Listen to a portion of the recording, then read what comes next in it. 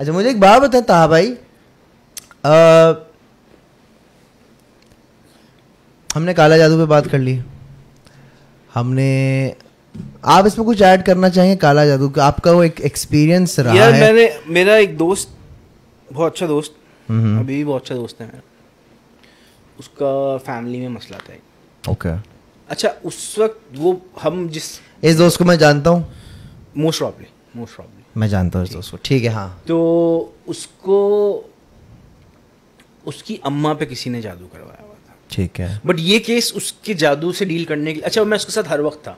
उसके उस टाइम में टफ टाइम में आई वाज देयर कीड़ा भी था ना वुडू डॉल देखने का कीड़ा भी था वो तो अच्छा उसको मेरे अब्बा ने बताया कि अब्बा के दोस्त जो जू है ना Karachi zoo Gandhi garden Gandhi garden हाँ गार्डन वाले एरिया में वो अब्बा के दोस्त हैं वो होम्योपैथिक हैं। और वो उनका कोई क्लिनिक नहीं है वो सिर्फ़ लोगों से ऐसे डील करते हैं चाय के होटल पे दवाइयाँ देते हैं और जो है ना काफ़ी आराम आ जाता है। तो उनकी अम्मा को थायराइड था। ओके। okay.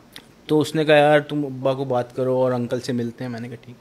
अशरफ नाम था अंकल का अगर if I am not mistaking my memories correct serving right तो हम दोनों ने मोटरसाइकिल निकाली दोस्त की और बैठे और चले गए गार्डन।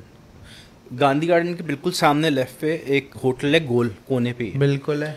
ठीक है तो वहाँ पे हम लोग अंकल से मिले। मैं अंकल से खुद पहली दफ़ा मिला था। तो वो मिले और हम बात कर रहे हैं और वो अंकल से मैं बात कर रहा हूँ और अंकल जो मेरे दोस्त को देखे जा रहे हैं। ओके और मुझे पता नहीं है अंकल के पास ये इल्म है। ठीक है और वो मुझे उनको देखे जा रहे हैं और मैं मैं उनको देख रहा हूँ और मुझे नहीं देख रहे वो। बात बात बात कर रहे हैं मुझसे, लेकिन देख मुझे नहीं रहे, दोस्त को देख रहे हैं, मैं सामने बैठा हूँ। तो it start bothering me after a while अच्छा इससे पहले कि मैं खुद कुछ बाद में बोलता हूँ, वो अंकल ने मेरे दोस्त को बोल दिया। मैं दोस्त का नाम नहीं लूँगा ऑब्वियसली कि बेटा, तुम रात को नींद में सोते सोते उठ जाते हो? रात को दो तीन बजे आँख खुल जाती तुम्हारी। तो वो अपनी अम्मा का मसला छोड़ के उसने कहा? जी ऐसी है। अच्छा। और यूँ यूँ होता है? उसने कहा हाँ यूँ यूँ होता है। ये होता है यूँ होता है। बैठे बैठे सुन हो जाता हूँ हो जाता हूँ। नमाज़ पढ़ने दिल बिल्कुल नहीं करता। तिलावत सुन तो चिड़चिड़ाहट होती है बिल्कुल होती है। अगर अभी मैं तिलावत लगाऊँ तो तुम्हारा क्या रिएक्शन है? उसने आप लगा के देख लें। तो उस वक्त वो स्मार्टफोन्स तो थे नहीं। तो मुझे याद नहीं है किस डिवाइस पर उन्होंने तिलावत लगाई थी टू बी ऑनेस्ट तो वो वाकई में बहुत इरीटेट होना शुरू हो गया था। देखो तुम ना मेरे पास जुमेरात को आना। It was most probably Monday तो जुमेरात को बहुत टाइम था क्योंकि मुझे याद है कि दोस्त का फ़ोन आ गया यार जुमेरात को जाना है क्या बोला है? हम चले गए जुमेरात को अंकल के पास। ताज साहब के हाथ में सिगरेट है। सिगरेट पी रहे हैं और उनकी बातें सुन रहे हैं। तो एक तीसरा पहिया डेट पे नहीं आप कपल जाते हैं तीसरा बंदा खाम खाम वही सीन है। और जो है ना ताज साहब देख रहे हैं क्या सीन चल रहा है। और अंकल उसको बोलते हैं बेटा ऐसे ऐसे है आप यूर यूर पोजेस्ड ओके आपकी अम्मा पे जादू है। और उनकी औलादों पे भी है। ओके सिंस यू अम्मा की वजह से since you are the closest to her you are affected as well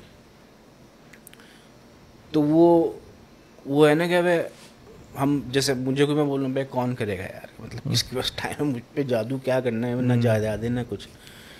but you never know यार किसको क्या हार होती है जादू करवा देते हैं तो खैर उसने कहा अच्छा क्या करना है उसने कहा देखें अ, अगर करना है तो तरीके से करना है सात जुमेरात करना है ठीक है ठीक है उसने पढ़ने पढ़ाने का दिया उसने अंकल ने पढ़ने पढ़ाने का दिया उसको और बाय द वे वो दोस्त भी मेरा आर्टिस्ट है ठीक है तो बहुत अच्छी स्केचेस करता है और बड़ी फैंटेसी आर्ट और ये और वो दोस्त ने बोला कि मैं करूँगा कोई मसला नहीं है आप करें ठीक है जो भी तोड़ करना है करते हैं। उसने कहा पहले आपका तोड़ करते हैं फिर आपकी अम्मा का करते हैं। ठीक है। बहरहाल सिंपल टास्क था जुमेरात को वहीं पे आगे कोई एक लोहे की मार्केट है वहाँ पे एक मज़ार है अंदर। अच्छा वो मज़ार जो है वो मस्जिद के पीछे है। मतलब पहले आप एंटर होते तो मस्जिद आती है पीछे मज़ार है। एक्चुअली वो मज़ार मज़ार भी नहीं है। वो जो भी बुज़ुर्ग है वहाँ पे किसी कहीं बैठ के वहाँ पे उन्होंने चिल्ला काटा। ठीक है। वहाँ पे हर जुमेरात को एक ऐसा सीन होता है कि आई वुड हाईली रिकमेंड कि लोग अपने कैमरे लेके जाएँ और वो खुद अपनी आँखों से एक्सपीरियंस करें। मैंने कुछ देर पहले एक बात बोली थी some things are not some things are unexplainable आपको नहीं समझ आती आप इस दौर में आपका ब्रेन प्रोसेस नहीं करता कि मैं क्या देख रहा हूँ। क्योंकि जो चीज़ें मैंने मैंने और मेरे दोस्त ने अपनी आँखों से वहाँ पे देखी they were not humanly possible ठीक है ह्यूमनली पॉसिबल नहीं थी कि होता है ना जैसे यहाँ पे आके उन्होंने वो सिगरेट जला दी वो सब आप बोलते पे यार बुलशिट है यार I know all this stuff man YouTube खोलो और जो है ना सर्च करो how to make fool out of moon तो वहाँ पे ना दस चीज़ें मिल जाएँगी कि यार मून को इस तरह से बेवकूफ़ बना। सॉरी नो हम्म ठीक है। अब लेकिन वो चीज़ें फिजिकली आपने नहीं देखी किसी इंसान को करते हुए। जैसे कि मैं बताता हूँ आपको जैसे अब हम गए तो असर के टाइम जाना था और मगरब तक वहाँ रहना था। और मेरा दोस्त इतना पट्टू था कि वो उसने कहा मैं तो अकेला जाऊँगा ही नहीं। चल भाई सिगरेट हाथ में रखी और चले गए। पहले तो आए मस्जिद तो नमाज़ पढ़ लो यार। वज़ू वज़ू किया नमाज़ पढ़ ली। और अब अजीब सा माहौल है। ता साहब इधर देख रहे हैं मस्जिद को और वो तेल जलने की स्मेल आ रही है अगरबत्तियों की स्मेल आ रही है।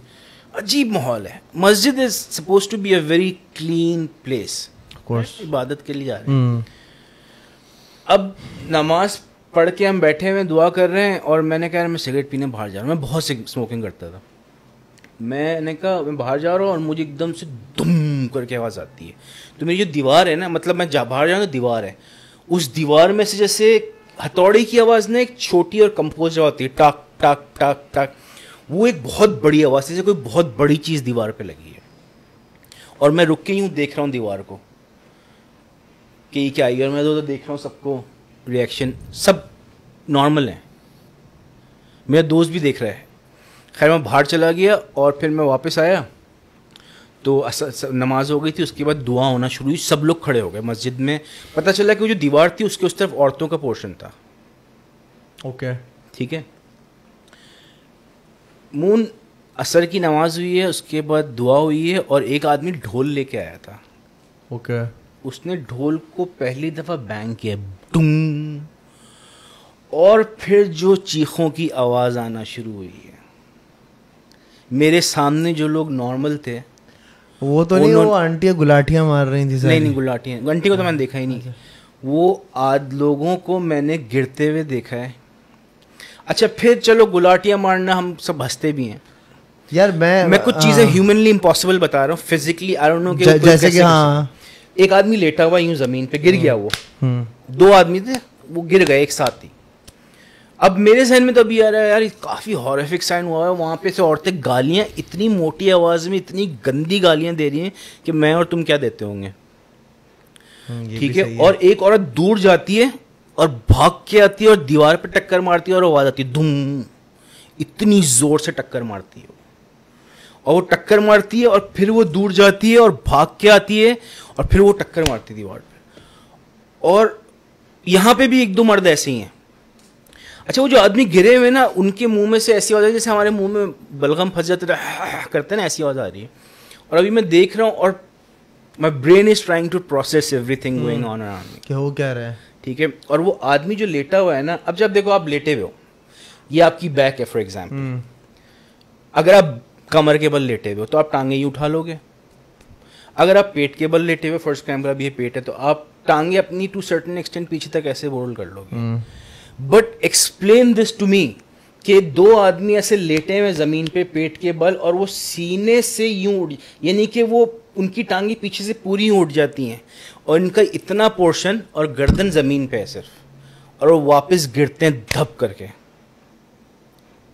और फिर वो वापस उठते हैं और फिर वो गिरते हैं। और कॉन्स्टेंटली हो रहा है। It was so torturing to look at such a disturbing sight कि मुझे समझ नहीं आया। और मेरा दोस्त सुन रहे हैं। और जब वो ख़त्म हुआ मगरिब की अजान हुई तो वो सब नॉर्मल हो गया। नमाज़ पढ़ी बाइक मारी मैंने कहा मैं अगले जुमेरात तुम्हारे साथ नहीं जाऊँ सही मैं नहीं आ रहा यहाँ नहीं आ रहा यहाँ पे।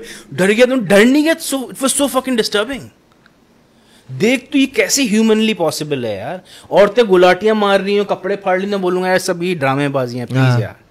चलो वो टक्कर मार रही है वो भी मैं सोच रहा हूँ कि यार मैं अगर तो लग तो रही होगी इंसान तो है टक्कर है हाँ। तो लेकिन ये कैसे हो रहा है ये? उसने कहा चल यार तू नेक्स्ट वीक आ देख लेना। मैं भी अब एक्साइटमेंट में नेक्स्ट वीक भी चल नेक्स्ट जुमेरात सातों जुमेरात मैंने उन लोगों को यह हाल देखा है। My friend on the other hand अच्छा सवाल है मेरा सॉरी सॉरी सातों जुमेरात सेम लोग थे? नहीं अलग अलग लोग थे। ओके ओके ठीक है। और अब अगर सेम होंगे भी तो मैं कहाँ पहचानूँगा हाँ ये मतलब। बात भी सही है। अच्छा सातवीं जुमेरात। हाँ। माई फ्रेंड अंदर उसको अंदर बैठा हुआ था उसको उन्होंने कुछ पानी वानी पिलाया। और मुझे बोला यार आप जाएँ बाहर ये तो नहीं करेगा आप जाएँ अगरबत्ती जलाएँ। मैंने कहा यार ये ऐसे बिद्दत विद्दत वाले काम नहीं करवाया करो अगरबत्तियाँ वत्तियाँ जलाना आपको जलाना जला लो भाई मैं तो यहीं हूँ। हम्म, तो नहीं यार कुछ जला मैं मेरे दोस्त कह रहे जला दे यार। मैं गया मैंने अभी इतना ढीट हुआ हुआ था पूरा डब्बे उठा के ना सात डब्बे थे। अब वो कौन एक एक निकाल के जलाएगा यार? सारे साथ डब्बे ऐसे पकड़े और वो वहाँ पे एक चूल्हा बना हुआ था उसमें फेंक दिए सारे एक साथ जलाने। इवेंचुअली तो अगरबत्तियाँ ही जलेंगी ना यार अगर हाँ, टेक्निकली देखें तो। हाँ, तो बहरहाल मैं इतने में जाता हूँ बाहर और वापस आता हूँ तो मेरा दोस्त बैठा हुआ है जैसे मैं छोड़ गया था वैसे ही बैठा हुआ है। और मैं बोला चल भाई चल हो गया तेरे साथ जो मेरा बहुत ड्रामेबाजी है देख। नो रिस्पॉन्स अच्छा।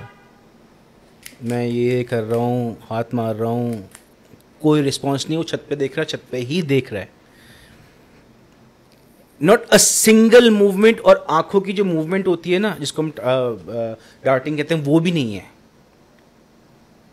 बिल्कुल डेड है। उसके जो पीपल हैं वो बिल्कुल डेड है। अगर मैं उसके आगे टॉर्च भी मारता ना तो वो no reaction as if he was dead और मैं भाई अब मैं क्या करूँ?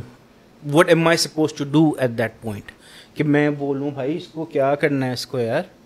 कोई तो देख लो इसको. तो वो अच्छा अशरफ अंकल आ रहे थे मीन वाइल अशरफ अंकल सिर्फ़ एक दफ़ा मिले थे हमसे। ओके अशरफ अंकल दोबारा कभी नहीं है okay by the way Ashraf uncle बाद में he died sleeping in bed perfectly healthy का है तो ये that was the last thing उसके बाद उसको कुल पढ़ने के लिए दिए थे। hmm. एक वजीफा था जो इशा की नामा उसके बाद पढ़ना होता था। तो वो मेरे ख्याल सात दिन पढ़ना था और यानी कि सा, सात जुमेरात के बाद सात दिन और पढ़ना। तो वो सातवें दिन उसकी अम्मा बताती हैं कि जब वो लास्ट टाइम ईशा के बाद वो वजीफा पढ़ा तो सारी घर की चीज़ें गिर गई थी इंक्लूडिंग फ्रिज रियली वो खड़े खड़े फ्रिज गिर गया और जो फ्रेम्स लगे हुए थे वो गिर गए सब कुछ गिर गया घर में। How do you explain this देखो मैं आई एम एन आर्टिस्ट ठीक है? और हम लोगों ने for this sake of animation for film making हम लोगों ने बहुत क्रेजी ट्विस्टेड आइडियाज़ भी लिखे हैं बहुत डिज़ाइन भी बनाए मॉन्स्टर्स के डीमंस के। It's a very common thing मैं अभी भी एक डीमन डिज़ाइन कर रहा हूँ फॉर अ क्लाइंट ठीक है? But never have I ever read anything ऐसा कुछ मैंने कभी नहीं पढ़ा अपनी लाइफ में। या ऐसा कुछ विटनेस नहीं किया अपनी लाइफ में। इसलिए मैं कभी कभी चुप हो जाता हूँ कि यार मैंने कुछ ऐसा देख लिया है कि मैं एक्सप्लेन नहीं कर एक्सप्लेन नहीं कर पाऊँगा। ठीक है। सही है सब सही है। We are in twenty twenty three बहुत वो दकियानूस समझते हैं लोगों को जो इन चीज़ों में बिलीव करते हैं जाहिल अनपढ़ समझते हैं। But it's there it's true it's fact जादू काला जादू एग्जिस्ट लोगों की मौतें हो गई। मेरे दोस्त जिसकी हम बात कर रहे हैं इन इसकी अम्मा हॉस्पिटल में कोमा में थी। फॉर ट्वेंटी डेज़ क्लिफ्टन के एक बड़े हॉस्पिटल में। For twenty days she was in coma और उनकी टांगे लेटे हुए सिर्फ़ ऐसे चलती रहती थी। सिर्फ़ ऐसे चलती थी। कोमा में डॉक्टर्स एक्सप्लेन नहीं कर आपने देखा था? जी। I was there every day और हमको ये हुआ कि ये वही मसला है। अशरफ अंकल को लेके आए हम। हॉस्पिटल वाले अलाउ नहीं करते ऐसी चीज़ें। अशरफ अंकल जब आए वो रूम में एंटर हुए वो इट वॉज़ वो औरतों का जो होता है ना सब होती हैं उसमें मतलब प्राइवेट रूम नहीं था। हम्म, तो वो एंटर एंटर हुए तो अच्छा उनकी अम्मा आँखें नहीं खोल रही थी। तो जब वो अशरफ अंकल आए तो उनकी अम्मा ने ये बड़ी बड़ी आँखें खोली अशरफ अंकल को देख रही हैं और वो बातें कर रहे हैं दोनों आपस में। वो सिर्फ़ हूँ हूँ कर रहे हैं और यहाँ से अशरफ अंकल पूरी बात। उन्होंने बोला there is no chance oh. कोई चांस ही नहीं है। To late